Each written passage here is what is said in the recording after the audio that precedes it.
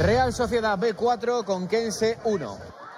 Se adelantaban los locales con este gol de Oyarzún en el minuto 21. Fíjate cómo llovía, ¿eh? Empataría José Vega, ahí lo estamos viendo en el minuto 24. Estaba prácticamente a puerta vacía. Ya en la segunda parte, Sangali hacía el 2-1 en el minuto 58. Y luego el 3-1 sería obra de Iker Hernández y el 4-1 obra de.